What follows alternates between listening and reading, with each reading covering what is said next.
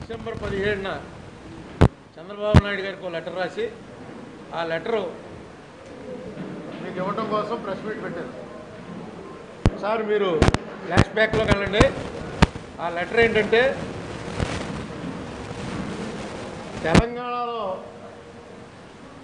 ఇరవై నాలుగు గంటలు విద్యుత్ ఇస్తున్నామని చెప్పి తెలంగాణ ప్రభుత్వం అసెంబ్లీలో ప్రకటిస్తే అప్పటి తెలుగుదేశం శాసనసభ్యుడు రేవంత్ రెడ్డి మా చంద్రబాబు నాయుడు కోఆపరేషన్ లేకుండానే మీరు ఇవ్వగలుగుతారా?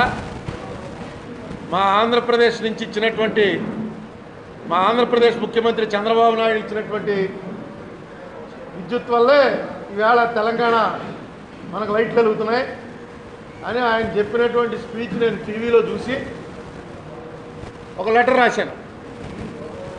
ఎంత విద్యుత్ ఇస్తున్నాం ఏ రేటుకి ఇస్తున్నాం క్యాష్ పేమెంటా అరువా? అరువు అయితే ఎప్పటిలోగా పే చేయాలి? వీటన్నిటి మీద మనకు ఒక వివరణ ఇవ్వండి. ఇస్తే తప్పు లేదు కానీ అది ఏం చేస్తున్నారో ఏ ప్రకారంగా ఏ టర్మ్స్ అండ్ కండిషన్స్కి లోబడి చేస్తున్నారో తెలియజేయండి అని చెప్పి దాదాపుగా ఆరు నెలల తర్వాత ఆరు నెలల తర్వాత మొట్టమొదటి లెటర్ రాశాం. దానికి మనకేం రిప్లై రాలేదు కానీ ఒక వారం రోజుల క్రితం మొదలైంది. మీరే మాకు ఇవ్వాలంటే మేమే ఇవ్వాలి. ఐదు వేల కోట్లు ఇవ్వాలని ఆంధ్రప్రదేశ్ గవర్నమెంట్ అడుగుతుంటే మీరే మాకు రెండు వేల కోట్లు ఇవ్వాలని చెప్పి తెలంగాణ ప్రభాకర్ రావు గారు చెప్పారు ఇది చాలా ఏదో చిన్నపిల్లల తగులో ఉంది. ప్రభుత్వాలు నడుపుతున్నటువంటి వ్యవహారం లేదు. ఇవ్వాల్సిన డబ్బులు అంత ఇవ్వక్కర్లేదు ఇంతే ఇవ్వాలన్నాం. ఇది విన్నాం కానీ మనం. మీరే మాకు ఇవ్వాలని చెప్పి సప్లై చేసింది వీళ్ళైతే మీరే మాకు ఇవ్వాలని అడిగారంటే మరి అది దేనికి లోపల అడిగారో అవి నాకు అంత నాలెడ్జ్ లేదు కానీ ఇదేదో చిన్నపిల్లల తగులా అనిపించింది. ఆ రోజు నుంచి నేను చెప్పినట్టుగా కనుక ప్రకటించి ఉంటే బాగానే ఉండు. ఈ నాలుగున్నర సంవత్సరాల్లో ఈ ఐదు సంవత్సరాల్లో ప్రభుత్వం చేసినటువంటి ఏవైతే అవకతవకలుగా భావించామో వాటిని తీసుకొచ్చి బయట పెట్టడం జరిగింది.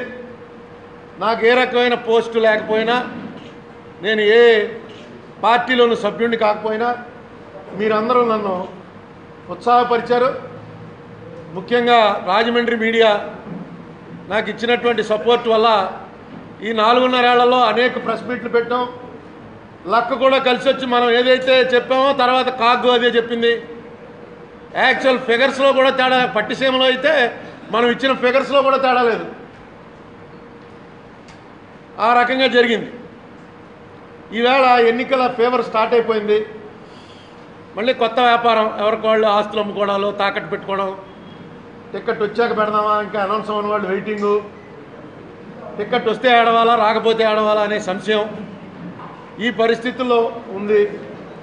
నా వరకు నాకు ఈ మూడేళ్ళలో డెవలప్మెంట్ ఏంటంటే జగన్ కానీ పవన్ కానీ చంద్రబాబు కానీ ఎంచేతో తెలియదు కానీ చంద్రబాబు గారు కూడా నాకు చాలా గౌరవం ఇచ్చి మాట్లాడారు. చాలా ఎక్కువ సమయం కేటాయించారు. నేను చెప్పిన దానికి అంగీకరించారు. తర్వాత జరగలేదనుకుంటే వేరే విషయం.